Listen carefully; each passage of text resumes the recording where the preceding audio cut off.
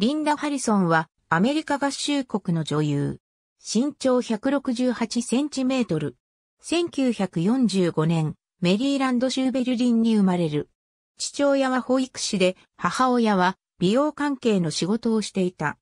6歳の頃から舞台で演劇の世界に入り、地元メリーランド州のテレビ番組に出演したこともある。地元の高校を卒業後、ユニバーシティ・オブ・メリーランド・アット・カレッジへ進学し、後にボルチモアのユニバーシティ・オブ・ボルティモアへ編入。しかし女優になるために後に、年上の姉でもあるケイ・ハリソンと共に、ニューヨークへ渡り、モデルとしての仕事を得るが、ホームシックにかかってしまい地元のベルリンへ再び戻った。1965年にミスメリーランドに選ばれ、今後は本格的に女優になるためオーディションなどを受けて徐々にキャリアを構築していった。